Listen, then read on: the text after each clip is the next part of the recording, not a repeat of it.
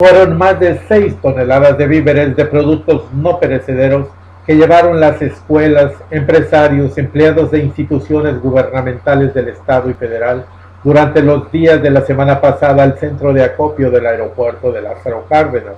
Fueron enviados por la línea de Aeromar para los damnificados por el temblor de Chiapas y Oaxaca, y que últimamente este lunes la Marina Mercante se llevó 2 toneladas 700 kilos por barco.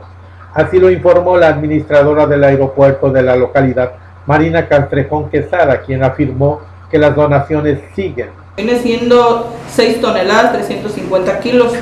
Eh, se mandaron por Secretaría de Marina, se entregó el día de hoy 2.700 kilos. Eh, Aeromar ha transportado 4.000 kilos, 4.050 kilos.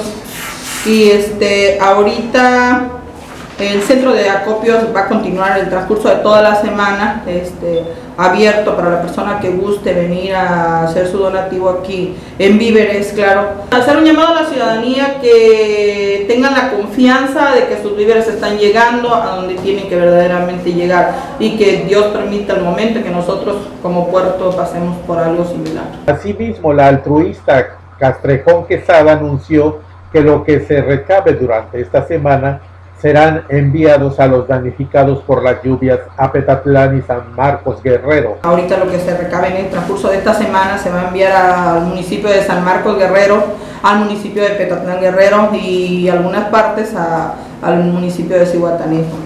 Y pues esperamos que, la ciudadanía siga contribuyendo con, con este centro de acopio de aquí Reportó para Contextos Norbel García.